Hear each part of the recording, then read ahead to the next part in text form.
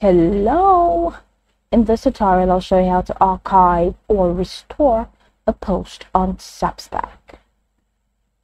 Archiving is a great way to keep your content organized without losing access to it. And restoring a post is just as easy if you ever want to bring it back.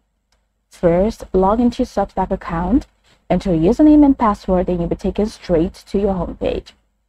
From the home page, go ahead and click on dashboard button at the top right corner, and that's going to take you to your dashboard. Once you're in your dashboard, check the top tabs. You're going to find a couple of tabs. So go ahead and click on post, and that's going to take you to the post tab. Now, on the post, scroll through your post to find the one that you want to archive. I have post in my draft. So you see that there is no option for me to archive because these are already drafted and they're not real posts. So scroll through your post to find the one you want to archive. It could be a post that's no longer relevant, but you want to keep it for a reference later.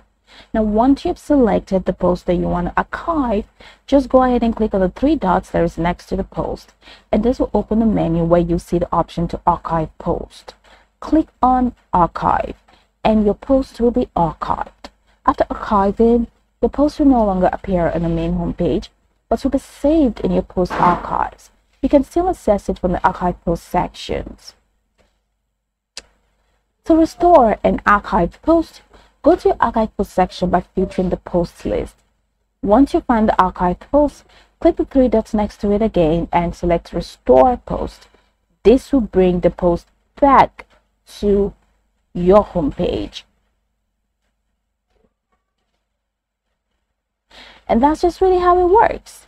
Now, after you restore the post, it will appear back on your homepage or wherever you want it to be visible to your readers. And that's it. You have learned how to archive and restore posts in Substack.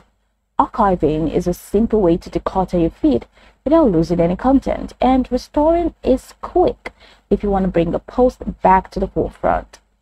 So, go over the tutorial from the top to the bottom to get acquainted with steps, and of course, once you're done, you'll be good to go. Hope this tutorial marvelously helped you search.